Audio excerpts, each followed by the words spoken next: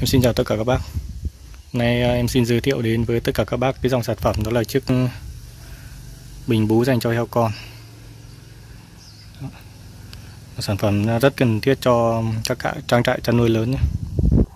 Các hộ gia đình có quy mô nái nhiều hay ghép đàn hoặc là heo con sinh ra bị mất mẹ, heo con cá sữa chúng ta cần bổ sung sữa ngoài thì chúng ta hoàn toàn có thể mua một chiếc bình bú này về để phòng và sử dụng các anh. À, loại bên em 9 vú bên em có loại 6 9 và 12 vú nhé. Và đây là dòng 9 vú cao cấp. Này, các núm vú cao su rất là dẻo và bền các anh nhé. Em mới vặn đang còn vặn còn lỏng nhá em chưa vặn chắc vào nhé. Em vặn em quay video các bác thôi. Khi nhận bộ sản phẩm về thì toàn bộ à, núm này em sẽ bỏ phía bên trong các bác về tự vặn vào nhé. Đó, chín núm và cái núm này sẽ, sẽ có khóa van chống sặc các bạn nhé. Quay phía bên trong. Đấy.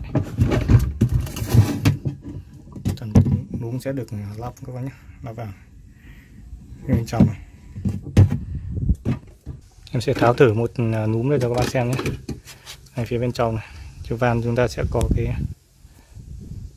cái đầu hút này. Xuống dưới rãnh này à, giúp tiết kiệm sữa này. Nó hút hết sữa luôn này.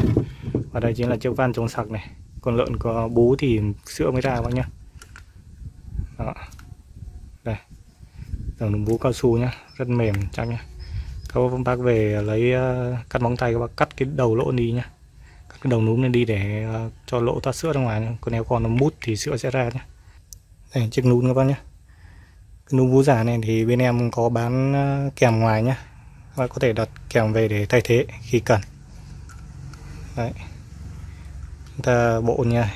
Toàn bộ em sẽ bỏ hết trong bình này nha các bác mua bình về thì à, lắp vào cho em. Đó, hai nắp đổ sữa tiện lợi.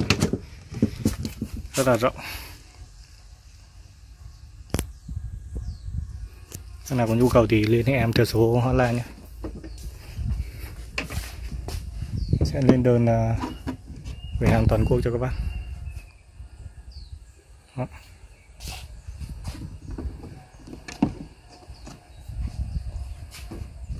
Rồi, xin chào các bạn.